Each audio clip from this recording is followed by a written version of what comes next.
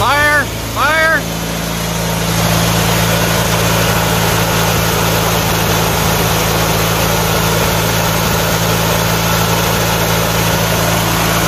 This is why you gotta make sure you clean all of it out.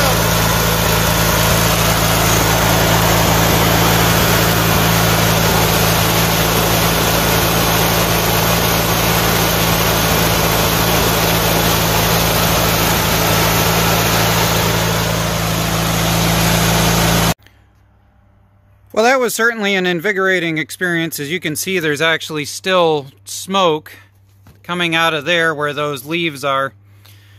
Basically, this was entirely filled with a mouse nest, and I cleaned out all of this side, and I thought I had cleaned out everything on this side, but apparently there was stuff down in there that caught fire while I was letting it idle and tuning the carb a little bit, and it shot it in back and caught some leaves in here on fire and a whole bunch of other stuff.